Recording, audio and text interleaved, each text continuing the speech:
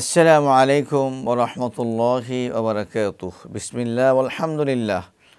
ওসলাত ওসালাম আলা রসুলিল্লাহ বাদ। সম্মানিত প্রিয় ভাই বোনেরা, আমরা শির্ক নিয়ে কথা বলছি। আমরা বলছিলাম, শির্ক হলো আল্লাহ সুবাহানাহ তালার জাত, তার সেফাত, তার আসমা হোসনা এবং তার রুববিয়াত ও লোহিয়াতের মধ্যে এরকম শির্ক করা, অংশীদার সাব্যস্ত করা।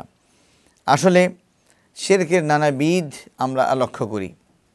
তন্মধ্যে একটি হলো, আমরা অনেক সময় গাছের পূজা করি না, মাছের পূজা করি না, সূর্যের পূজা করি না, পাথরের পূজা করি না।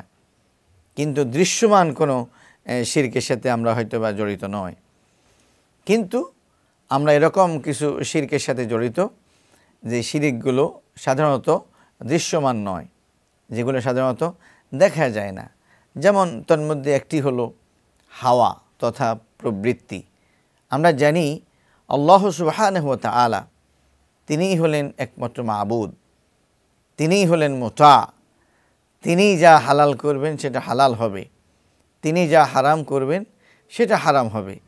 এটা তিনি ছাড়া আর কেউ কোনো কিছু হালাল করার অথবা হারাম করার অধিকার রাখেন না। নবী মাহমুদুর রসুল্লাহ সাল্লাহ আলী আসাল্লাম যা কিছু আমাদের সামনে হালাল এবং হারাম হিসেবে সাব্যস্ত করেছেন, সেটা আল্লাহ সুবাহানহুয়া তালার অনুমতিক্রমে, তার নির্দেশক্রমে তিনি সেই বিষয়গুলোকে হালাল এবং হারাম করেছেন। এই জায়গাতে এসে আরও একটা জিনিস আমরা ইলাহের জায়গায় মাহবুদের জায়গায় আমরা বসিয়ে থাকি, সেটা হলো আমাদের প্রবৃত্তি। সেটা হলো আমাদের মন। সেটা হলো আমাদের ইচ্ছা, আমাদের কামনা এবং বাসনা। যেমন আল্লাহ তালা তিনি আমাদেরকে বলছেন হাওয়াহু বেগৈরে হুদামিন আল্লাহ যে ওই ব্যক্তির চাইতে সবচেয়ে বড় গুমরাহ, পথ হারা আর কি হতে পারে? মিম্মানিত্যাবাড়া হাওয়াহু বেগাইর হুদামিন আল্লাহ যে ব্যক্তি তার প্রবৃত্তিকে, তার মনকে তার কামনা বাসনাকে ইলাহ বানিয়ে নিয়েছে মাহবুদ বানিয়ে নিয়েছে, বেগাইরি হুদামিন আল্লাহ আল্লাহ তালার হেদায়তকে বাদ দিয়ে।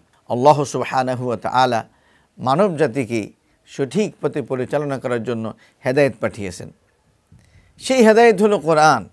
সেই হেদায়ত হলো নবী মাহমুদুল রসুল্লাহ সাল্লাহ আলী আসাল্লামে রেখে যাওয়া সুন্না তেরাক তফিকুম আমরাইন। আমি তোমাদের নিকট দুটো জিনিস রেখে যাচ্ছি। একটা হলো কিতাবুল্লাহ, একটা সুন্নতের রসুল এটা হলো হেদায়ত। এখান থেকে আমরা সত্য মিথ্যা, জায়েজ না জায়েজ, হালাল, হারাম খুঁজে বের করব।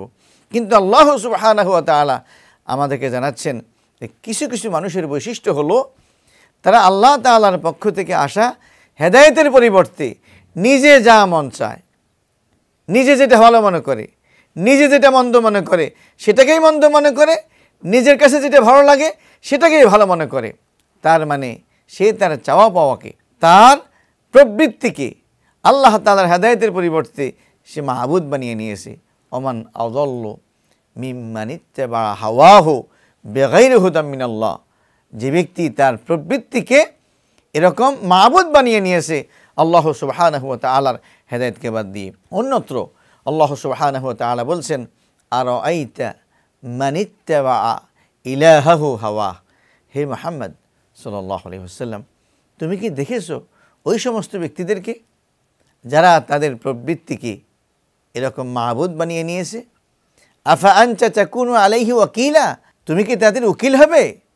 তুমি তাদের পাহারাদারি করবে? আম তাহসাবু আন আকসারহম ইয়াসমাউনা ও ইয়াকেলুন।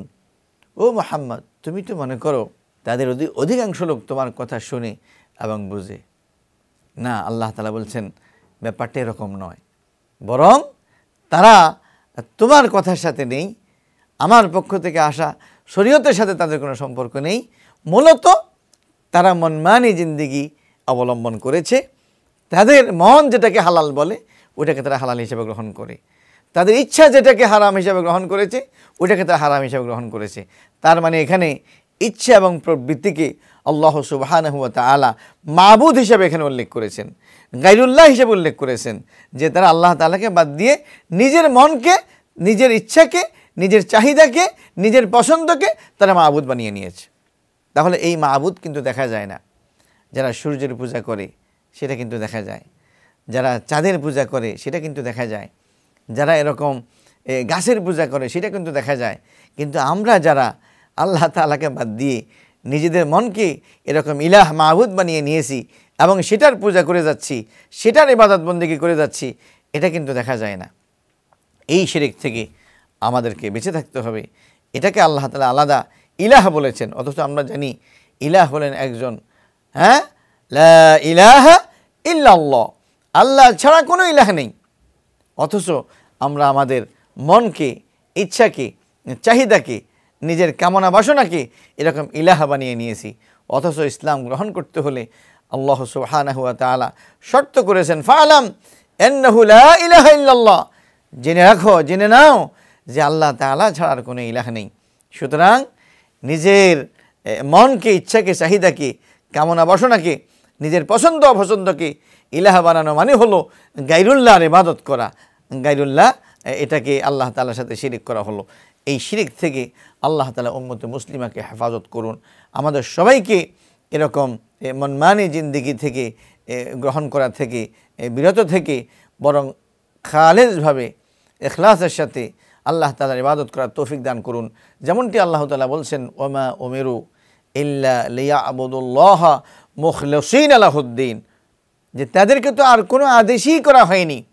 একটাই আদেশ করা হয়েছে, আর তা হলো তারা কেবলমাত্র, শুধুমাত্র আল্লাহ তালার ইবাদত করবে মুখলসিন আলাহুদ্দিন তাদের দিনকে তাদের ইবাদতকে কেবলমাত্র আল্লাহ সুবহানাহু ওয়া তাআলার জন্য তারা এখলাস করবে। হুনাফা গাইরা মুশরিকি নবিহি হুনাফা হানিফ একনিষ্ঠভাবে। কোনো কিছুকেই তার সাথে শরিক করবে না। আসুন, এই মারাত্মক অপরাধ ব্যাধি থেকে আমাদের সবাইকে আল্লাহ তালা রক্ষা করুন। ওসল্লাহ তালা আলা খির খালকিহি মোহাম্মদ وعلى آله وصحبه أجمعين.